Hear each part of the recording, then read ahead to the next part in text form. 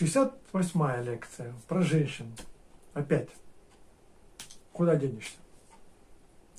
Говорят, что главная проблема у женщин – это ее, их недотраханность.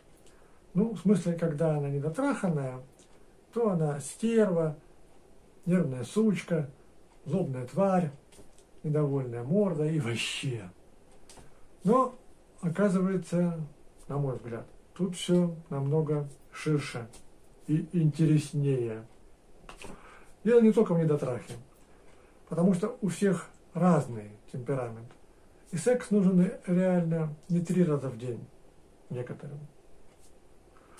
А главное тут это оргазм, ну, кайф. Опять же, оргазм не от секса, вернее, не только от секса, а и от всего остального, от чего женщина может получать оргазм, кайф.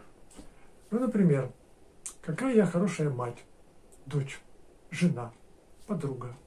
Или какие классные у меня сегодня ноготочки. Оргазм. Или как я классно ему сегодня отомстила. Ну или наоборот, обсосала. Кайф. Ой, какая я классная пироженка. Оргазм. Ну, или если уж совсем серьезно, ой, какие у меня классные сиськи. Как классно у меня выглядит попа. Как классно, что мне еще не 45. Ну, понимаете.